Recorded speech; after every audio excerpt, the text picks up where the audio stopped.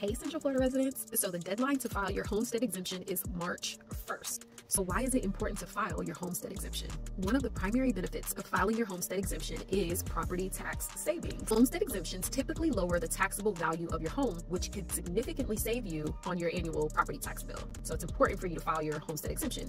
So, if you need more info, I'm here for you. So, all of the counties in Central Florida, I have a link that's in my bio that leads you to the Homestead Haven, which will give you all of the municipalities' websites and information on how to do your homestead exemption either online or by mail, by phone, or you can go up to your county office and do it directly. So basically, just go to the link in my bio.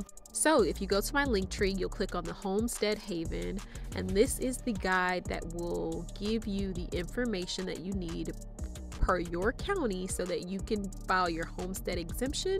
So you just enter your name, email, your phone number, and you enter your address and then you click get document now and this will allow you to download the PDF document. Once you download the document you can click on the link for your county and it'll take you over to your county site on how to do your homestead exemption. If you also want to know how much your home is worth you can click on what's my home worth and I'll give you a free comparable market analysis for your property.